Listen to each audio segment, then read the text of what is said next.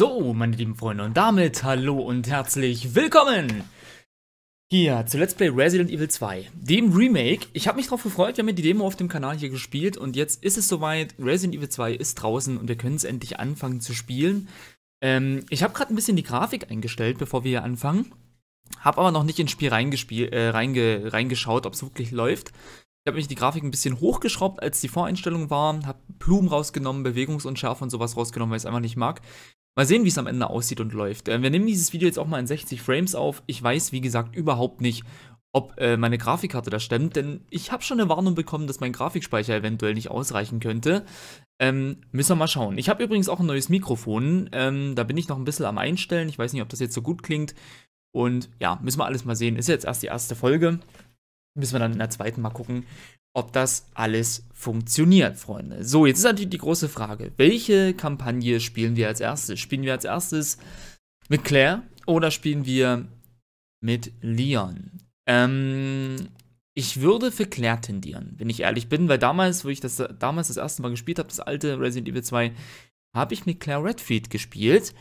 Und im Let's Play haben wir, glaube ich, mit Leon gespielt. Ich könnte mir jetzt auch einbilden, ich bin mir jetzt gerade wirklich nicht ganz sicher. Ich glaube, wir haben mit Leon gespielt. Und deshalb spielen wir jetzt einfach mal die Claire-Kampagne. Würde ich jetzt einfach mal so ähm, entscheiden. Claire Redfield. Ein anderer Albtraum wartet auf Claire Redfield, die noch nicht weiß, wie sehr sie sich bisher, ähm, äh, wie sehr sich ihr bisher sehr gewöhnliches Leben ändern wird. Okay. Gut, Freunde, wir starten einfach mal rein. Das Intro lasse ich natürlich wieder ohne Fratzenkamera laufen. Spielmodus wählen. Assistier. Zielhilfe, Standard, normaler Spielmodus, Veteran. Okay, wir spielen natürlich im Standardmodus. Und schauen uns das Ganze mal an, Freunde. Bis gleich. Nein, Mann, im Ernst, okay? Ich hab's mit eigenen Augen gesehen. Oh, ich glaub dir, Kumpel. Ich glaub dir. Erzähl uns die Geschichte. Erzähl sie. Okay, ähm, es war Freitagnacht. Ich ging von der Bar nach Hause. Da kam diese Frau auf mich zu. Sie torkelte, weißt du? Dachte mir also, sie ist betrunken. Wow. wow, okay. Sag uns, und sei ehrlich, wie viele Drinks hattest du intus? Nein, Mann, ich war kaum angetrunken. Ach komm. Nein, hör mir zu, okay? Sie kam näher und ich schaute sie mir genauer an. Hättest ihre Augen sehen sollen. Ihre Nase, ihr ganzes Gesicht sah aus wie verwest. Äh. Sah aus wie eine Leiche. Wie eine wandelnde Leiche, Mann. Klingt nach meiner Frau. Ich habe sowas noch nie gesehen. Kann seit der Nacht nicht mehr schlafen. Okay, beruhig dich, Kumpel. Beruhig dich. Du, hey, du musst stark bleiben. Okay, gib da drauf nicht Angst nachher. Ja, da hast du ganz recht. Wenn du vor diesen Dingern erstarrst, schlagen sie ihre Zähne in dich. Ich hab gesehen. Ach, komm schon. Wurde grad gut.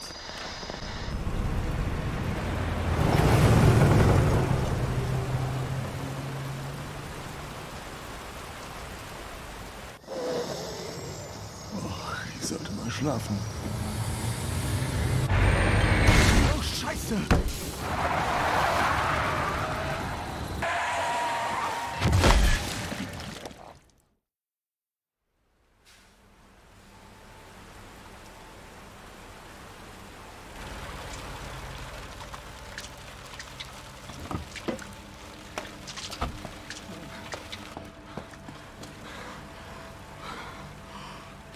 Nein. Nein, nein. Oh.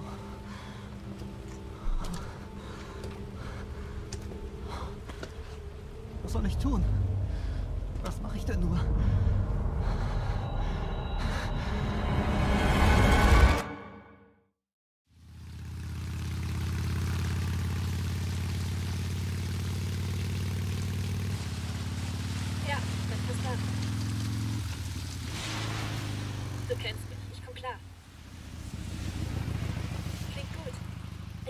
Sobald ich Chris finde. Sowieso. Muss los. Wieso denkt jeder, ich komme in Schwierigkeiten?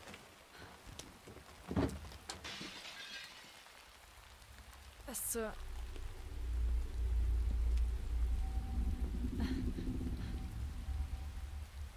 Hallo? Okay, Freunde. Was für ein geiles Intro. Und es ist dasselbe Intro wie im Original. Nur ein bisschen, ein bisschen geiler. Also grafisch muss ich schon mal sagen, wir haben ja die Demo in sehr low gespielt. Ich habe da nochmal in die Option geschaut. Wir haben die Einstellung auf sehr low gehabt in der Demo. Jetzt ist es so mittelmäßig eingestellt. Und meine Fresse, sieht das geil aus. Es läuft auch noch in 60 FPS. Wir nehmen gerade in 60 FPS auf. Mein Rechner scheint das alles noch ziemlich gut zu stemmen. Mal sehen, ob wir noch ein bisschen höher gehen können. Also GTX 79, ich bin gerade ein bisschen begeistert. Vielleicht kommen da noch Szenen, die ein bisschen anspruchsvoller sind, wo es vielleicht ruckeln könnte. Aber so sieht das schon mal geil aus. Und ich finde schon mal cool, dass man hier die, die Tankstellenszene, die man nur so im Intro angekratzt sieht, im Originalteil, dass man den, dass man die hier schon spielen kann. Finde ich schon mal sehr genial. Aber ich scheine erstmal nicht schneller laufen zu können. Egal. Gehen wir mal hinein. Hallo? Wie jung Claire hier aussieht, ne? Ähm, irgendjemand hier? Ähm.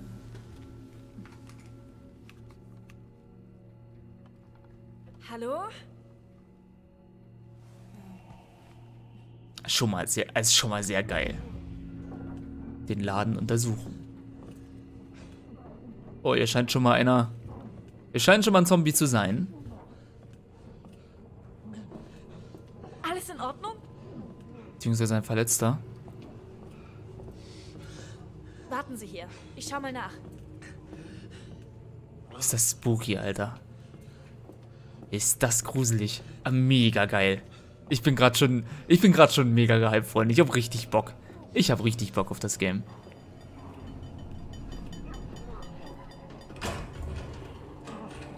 Die Sounds auch, ne? Also Leute, hört euch das Play gerne mit Kopfhörern an. Das klingt schon alles sehr genial. Oder spielt's mit Kopfhörern, ist auf jeden Fall übelst cool.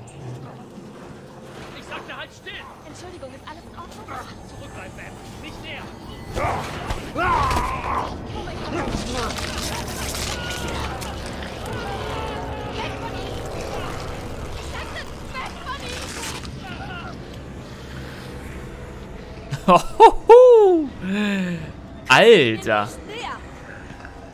Okay. Ist das übel.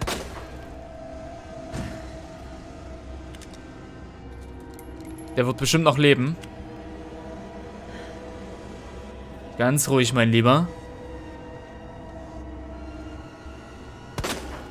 Da lebt er noch. Wir haben auch nicht so viel Munition gerade. Alter.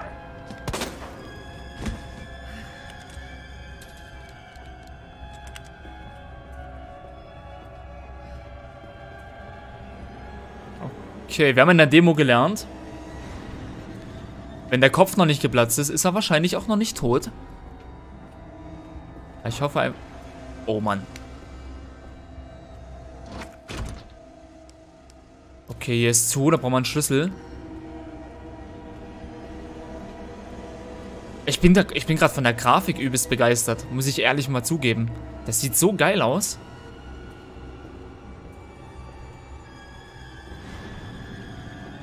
Da ist der Schlüssel.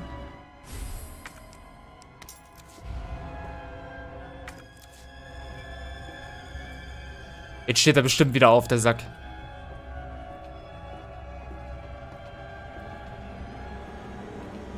Können wir die Tür hier schließen? Nee. Okay, Freunde. Was wird hinter dieser Tür hier sein? Zack. Ach, hier sind wir wieder hinter der Theke, okay. Oh, da ist wieder einer. Und der steht auch auf, oder was? Oh Gott. Oh Gott. Ich will hier nur raus. Warum kannst du denn nicht...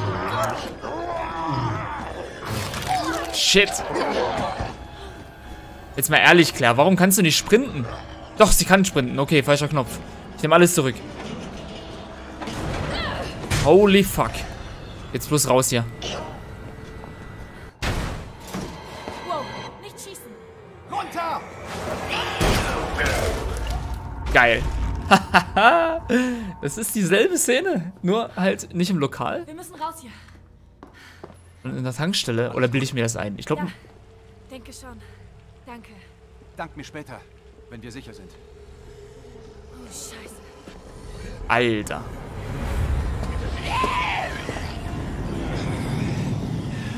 Zombies sehen so geil aus. Los jetzt! Rein da!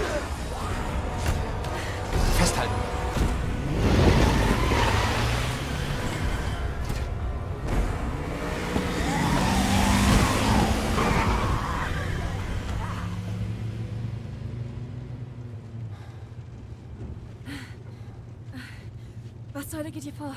Keine Ahnung. Hoffentlich haben die mehr Infos auf der Polizeistation. Warte, du bist Cop? Ja, Leon Kennedy. Und du bist? Claire. Claire Redfield. Wohnst du hier? Nein, ich suche meinen Bruder. Ist auch Cop. Tja, gut, dass wir uns getroffen haben. Ich weiß nicht, was noch auf uns zukommt.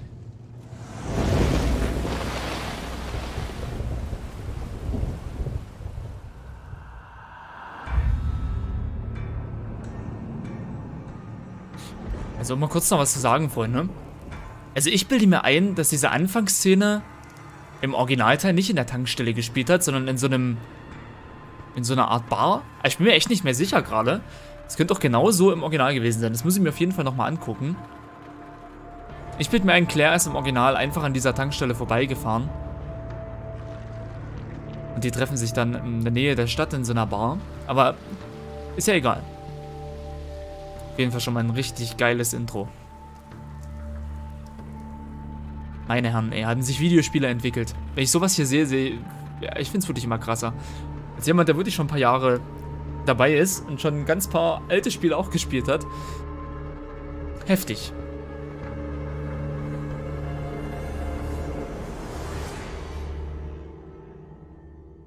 Geil. Geil, geil, geil.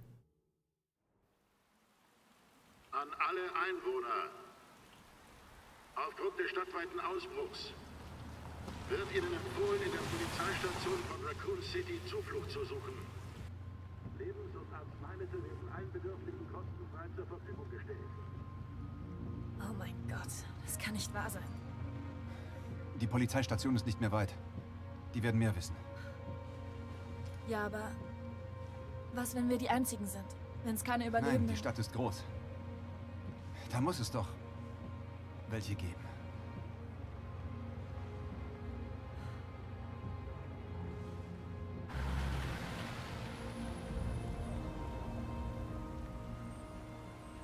Der Transporter, ne? Er kam doch hier und hat einen Unfall ausgelöst. wohl zu Fuß gehen. Der Tanktransporter. Ja, da kommt er doch. Ah, nee, doch nie. Das ist so räudig geil. Die Zombies sehen so Ja, übel aus. Idee. Leon,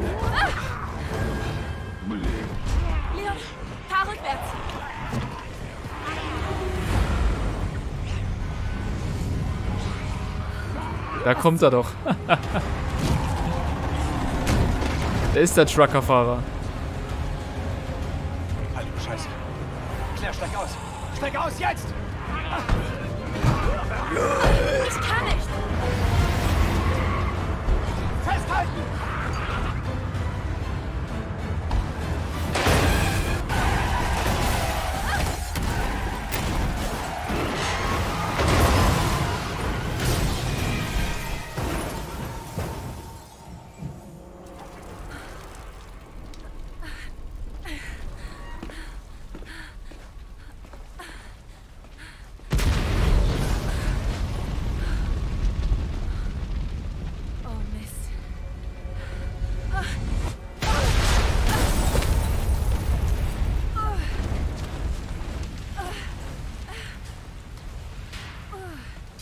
Finde wirklich schön, dass sie sich so gut am Original gehalten haben. Nice. Claire! Claire, alles klar? Ja, mir geht's gut. Was ist mit dir? Ich muss weg hier! Ist nicht sicher! Oh, Scheiße. Geh schon weiter. Ich treffe dich bei der Station. Okay, jetzt müssen wir hier schleunigst weg. Oh, ist das geil! Die, Alter, wie gut das aussieht. Mega krass. Okay, ich glaube, hier lang ist auch...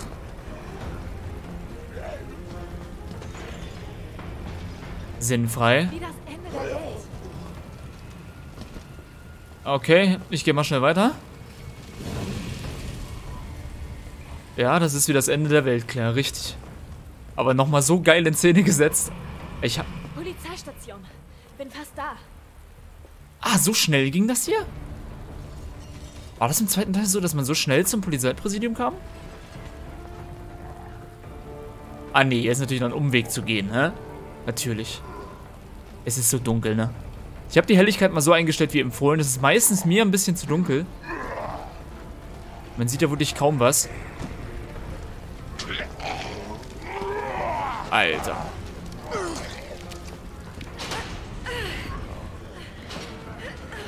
Und machen den Riegel zu, Claire.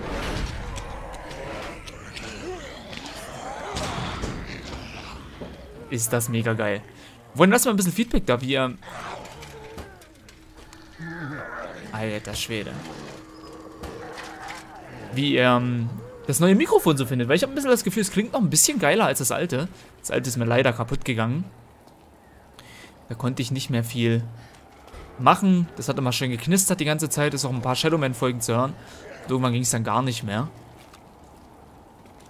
Sie musste ich mir leider ein neues kaufen. Habe mich jetzt für das Rode NT USB entschieden. Was muss ich sagen, echt cool ist. So. Alter. Ich bin, ich bin wirklich beeindruckt. Ich bin wirklich beeindruckt. Wir gehen jetzt einfach mal hier rein. In die schon aus dem Demo bekannte Polizeistation. Und schauen uns hier mal genau um. Keep out. Das kennen wir ja schon. Ähm, Irgendjemand hier? was ist First Aid Spray? Wir haben ziemlich wenig Inventarplätze. Ich glaube, das war ja von Claire auch so ein bisschen das Problem.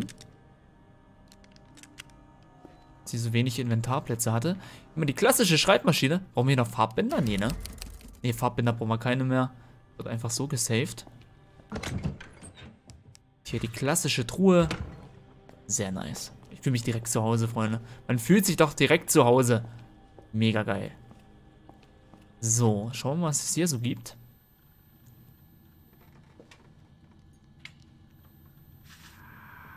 Schon, Chris. Wo steckst du?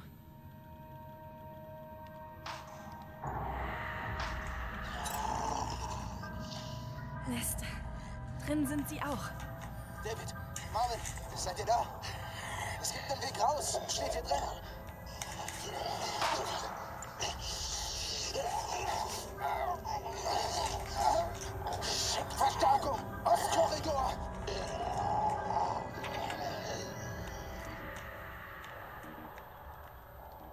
Sollte ihm helfen. Yep. Klar, das sollten wir versuchen. Also, hier ist also die Map. Jetzt müssen wir kurz gucken. Da, genau. Der Kartenbildschirm ist nicht nur nützlich, um sich die gegenwärtige Position und Umgebung anzusehen, er zeigt auch interessante Details sowie Objekte an, die sie zwar gefunden, aber nicht aufgenommen haben. Das ist natürlich eine sehr, sehr gute Neuerung, dass man auf der Map Gegenstände sieht, die man nicht aufheben konnte, weil man gerade volles Inventar hatte. Das war immer so ein kleines Problem bei Resident Evil, dass man immer schön mit seinem Inventar haushalten musste. Das ist cool, dass auf der Map nochmal solche Sachen angezeigt werden. Und ich weiß ehrlich gesagt jetzt gerade gar nicht so richtig, wo geht man als erstes hin. Es ist wie ein großer Spielplatz jetzt, den wir erstmal entdecken müssen. Und man hatte immer so das Gefühl, ah, hat man ja schon gespielt. Kommt man easy durch, aber ich denke mal, die werden das Spiel schon nur im, im, im Groben, im ganz Groben werden sie sich an die Story gehalten haben und an die klassischen kleinen Rätselchen, aber sonst wird sich das Spiel schon komplett verändert haben. So. Es ist krass, wie das Spiel zurzeit gehypt ist, muss ich mal ganz ehrlich sagen. Fast jeder kleine und große YouTuber spielt Resident Evil. Brauchen wir einen Schlüssel. Hier brauchen wir ein Messer. Das haben wir auch nicht. Gut, also kommen wir hier und hier schon mal nicht durch. Das wird auch schön an der Map angezeigt. Sogar das Schlüsselsymbol ist angezeigt. Peak-Tür. Das ist natürlich geil. Hier mal eine die Statue, eine Truhe. Das ist natürlich ein sehr, sehr, eine sehr, sehr geile, übersichtliche Map. Hier den Einstieg in so ein Survival-Spiel. Falls man es noch nicht gespielt hat, daran muss man ja auch immer denken. Schon sehr erleichtert. So, und hier müssen wir irgendwelche... Das daran kann ich mich zum Beispiel nicht mehr erinnern. Weil hier könnte man jetzt wirklich nach Ausschlussverfahren... Ah nee, das ist zu viel. Man muss ja auch jedes Mal bestätigen. Da müssen wir irgendwo eine Anleitung für finden. Das heißt, wir können eigentlich den ersten Weg gehen, den man auch in der Demo geht. Da unten. Durch diese Haupttür. Die wird wahrscheinlich mit dem Schalter aufgehen. Ah, ich bin ein bisschen nervös. Ah, es läuft mit stabilen 60 FPS die ganze verdammte Zeit. Ich glaube, ich kann die Grafik echt noch ein bisschen hochstellen. Obwohl mich der Rechner, also das Programm, hat mich echt gewarnt. Ah, Grafik zu hoch eingestellt. Wird wohl ruckeln. Nix. Bisher nix. Okay. Diese Keep-Out-Meldung ist bestimmt nicht umsonst hier.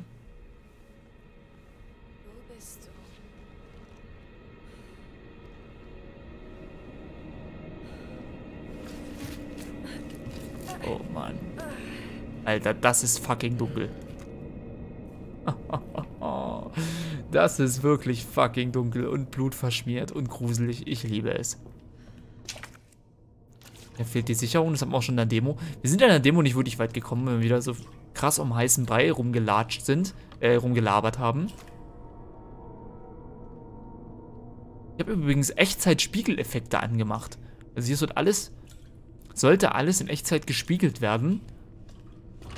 Was natürlich ultra beeindruckend ist. Aber ich glaube, in der nächsten Folge werde ich die Grafik noch mehr hochschrauben. Gehen wir mal auf Hoch und Ultra. Mal sehen, wie es dann noch läuft.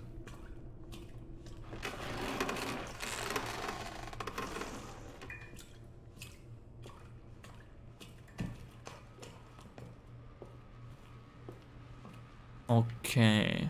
Hier ist wie alles im Wasser sogar gespiegelt wird. Ich liebe sowas. Da bin ich auch ab und zu mal bei so neuen Spielen. Konzentration. Bin ich auch ein bisschen Grafikfetischist. Manchmal, muss ich auch ehrlich zugeben. So, hier rechts war noch eine Tür. Ne, war doch keine Tür, nur ein Fenster.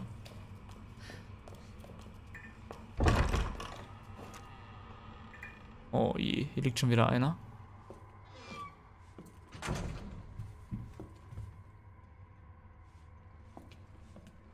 Wird doch bestimmt aufstehen. Was ich immer so krass finde an solchen neuen Spielen, ne, man sieht natürlich die Items nicht so gut. Wie zum Beispiel im Original Resident Evil 2. da hat man die Items natürlich immer sofort gesehen. In so neuen Spielen ist es immer eher schwierig.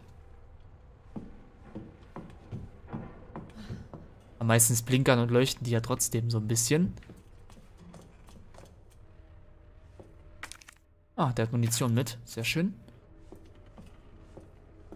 Ist das Lichtschalter? Ach, schön. Licht ist echt mal was Tolles.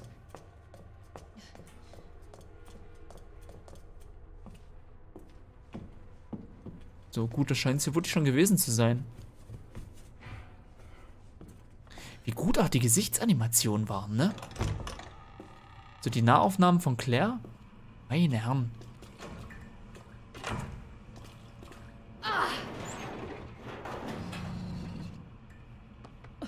Schaffst du das? Stark.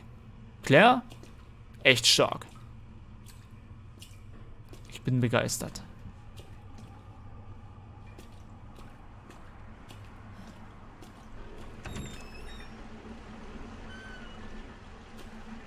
Die Damentoilette. Das Übel allen Horrorspiels ist immer die Damentoilette.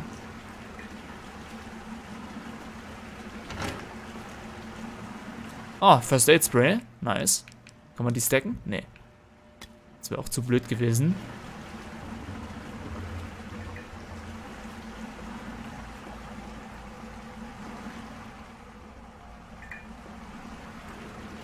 Gut.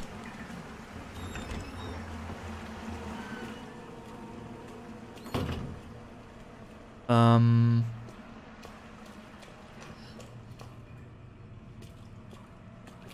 Jemand hier? Ah, hier ist doch die bekannte. Ah, ja, ja, ja, ja, ja. Hier waren wir in der Demo ja auch. Oh mein Gott. Guckt euch dieses Gemetzel an. Also, ganz ehrlich, in Sachen Brutalität haben Videospiele in letzter Zeit schon immens an Zuwachs gewonnen. Ein abgenutzter Schlüssel. Was haben wir hier zu benutzen? Das Ding ist, die Frage ist... Oh, okay. Wurde ich genau dasselbe wie in der Demo. Ganz genau dieselbe Szene. Hätte ich jetzt nicht gedacht. Ich dachte, die machen das komplett anders. Dann wird ja gleich dieser wunderschöne Zombie kommen. Und uns auf die Pelle rücken. Bin hier. Die Tür aufmachen! Aufmachen! Aufmachen, bitte! Hören Hier, geben Sie mir die. Hand. Hilfe! Festhalten. Geben Sie, geben Sie mir die andere Hand.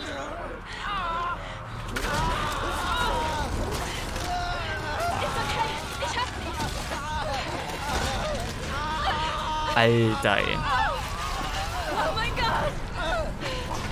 Diese schlimme, schlimme Szene. Tut mir so leid.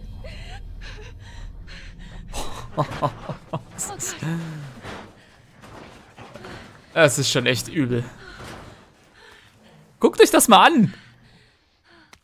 Sowas hat man damals in seinem Kopf sich vorstellen können. Jetzt kann man es einfach sehen. Man muss sein Gehirn nicht mehr verwenden, um sich Brutalität vorzustellen. Es ist einfach so brutal. Notizbuch eines Polizisten. Ah, guckt mal, hier haben wir doch schon mal die Lösung für die Statuen. Das ist schon mal sehr nice. Goddess-Statue, Statue, die drei Medaillons, genau. Okay, das hilft mir natürlich ungemein. Und da kommt er doch, mein Freund. Da kommt er gleich.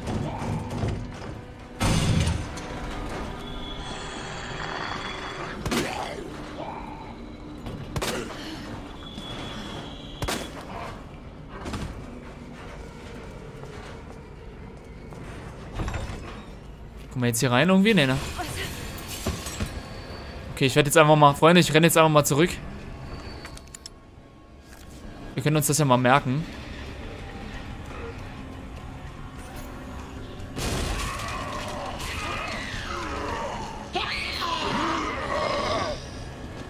Oh, oh, oh, ich sehe nichts. Ich sehe nichts.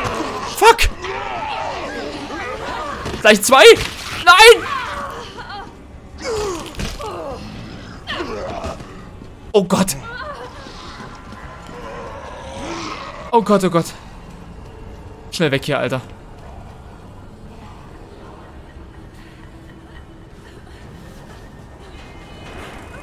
Bitte, Claire.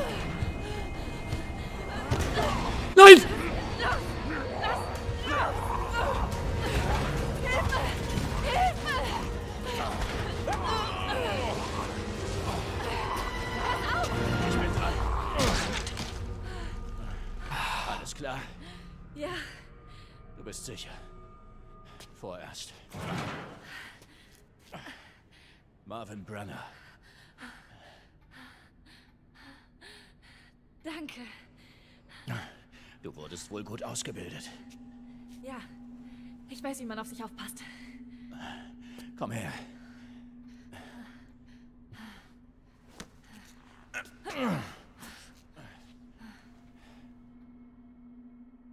Meine Güte. Also, niemand kennt die Ursache? Es gibt viele Theorien. Aber ich weiß nur sicher, dass es hier vor Zombies wimmelt. Ja, was sie nicht sagen. Hey, hey, lass das an. Nur für den Fall. Ich werde nicht lang bleiben. Wenn ich Chris finde, sind wir hier raus. Du bist wirklich Chris' Schwester. Ja.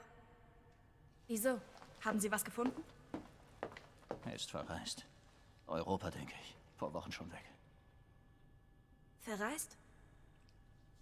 Das ist großartig. Ich habe noch mehr für dich. Anscheinend gibt es einen Weg raus durch diesen Geheimgang hier. Gut. Hey. Sie sollten schnell ins Oh Krankenhaus. nein, vergiss mich. Ich kümmere mich um mich selbst. Nein, das machen Sie nicht. Sie brauchen dringend Hör Hilfe. zu, Claire. Rette dich selbst. Damit du deinen Bruder wieder siehst. Hier. Du brauchst das sicher. Nein, ich nehme das nicht. Sie werden das. Und pass gut auf. Wenn du eins von den Dingern siehst, wer immer es auch war, darfst du nicht zögern. Schalt es aus, wenn du kannst. Oder renn.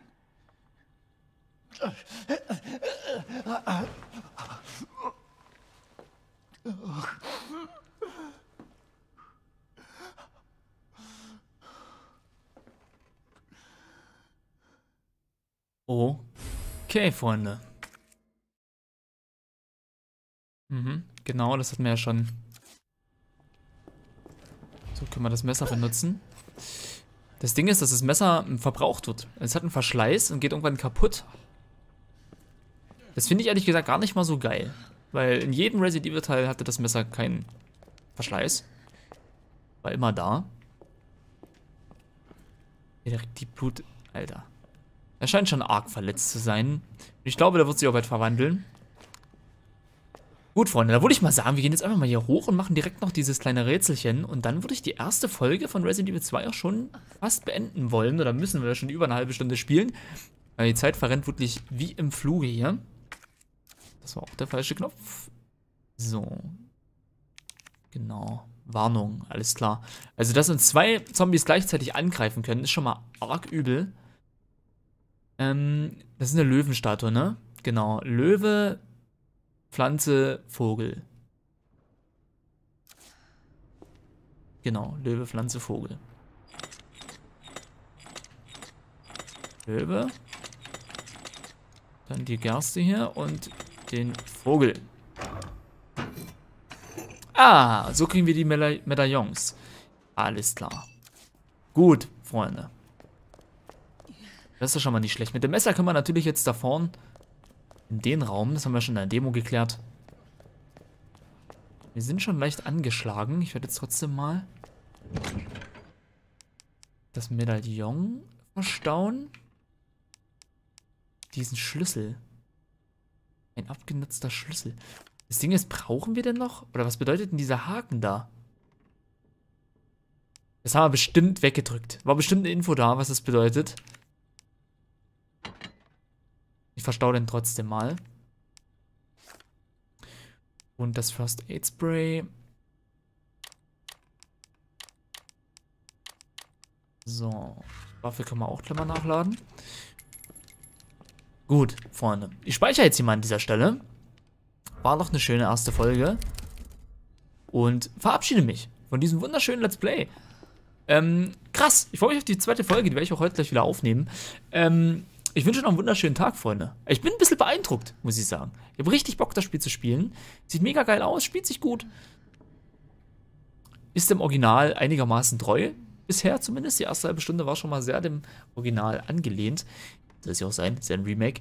Ähm, gut, Freunde, wir sehen uns wieder in Folge 2. Ich hoffe, es hat jetzt technisch alles geklappt. Ich habe, wie gesagt, mit diesem Mikro noch keine Folge aufgenommen. Ich habe nicht mal eine Testaufnahme gemacht. Ich habe mir nicht mal eine Test... Das müsst ihr euch mal reinziehen. Ich kaufe mir ein neues Mikrofon, mache nicht mal eine Testaufnahme und höre sie mir an. So weit ist es schon gekommen. Ich habe mir nur den Pegel angeguckt habe gesagt, ja, Lautstärke ist okay. Wird schon funktionieren. Werde ich ja gleich hören. Wahrscheinlich äh, kommt jetzt ein kratzendes Krächzen raus, wo ein Kabel nicht richtig drin steckt oder so. Wir werden es sehen, Freunde. Macht es gut. Wir sehen uns in Folge 2. Ich wünsche noch einen wunderschönen Tag. Tschüss. Bis dann.